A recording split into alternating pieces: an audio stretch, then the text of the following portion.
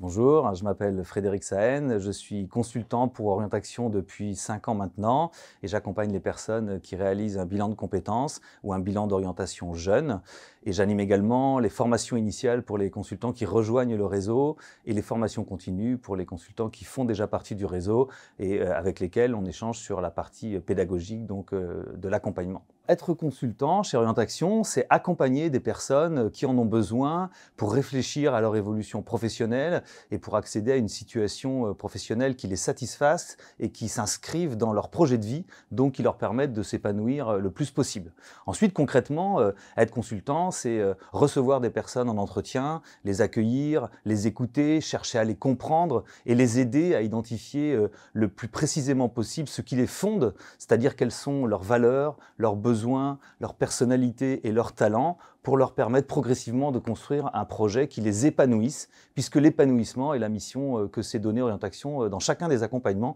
quelle que soit la prestation délivrée. J'aurais beaucoup d'anecdotes à partager sur les accompagnements parce qu'ils sont tous singuliers, toutes les situations sont différentes, mais il y a quand même une situation très particulière euh, dont je vais témoigner aujourd'hui. C'est un jour un monsieur qui est venu me solliciter pour réaliser un bilan de compétences, qui était moniteur moto-école et qui voulait évoluer parce qu'en fait, quand il est venu me voir, il revenait de sept années de marche. Il était parti marcher et il avait marché pendant sept années dans le monde et il revenait et il souhaitait un petit peu réfléchir au métier qu'il pouvait faire euh, en revenant, en tenant compte de ce qu'il était devenu et de ce qu'était la réalité euh, professionnelle euh, dans ce qui avait évolué. Et le bilan lui a permis de, se réacclimater à, un monde un peu plus civilisé que ce qu'il avait connu pendant sept années. Ce monsieur est devenu conducteur de bus et en parallèle, il a proposé des conférences sur l'émerveillement puisqu'effectivement, de nombreuses personnes pouvaient être très intéressées par ce qu'il avait vécu pendant ces sept années. Une anecdote extrêmement marquante et qui m'a profondément enrichi et qui vient témoigner de, l'enrichissement humain du métier euh, qu'on exerce euh, quand on est consultant euh, en bilan de compétences et notamment et particulièrement chez Orientation.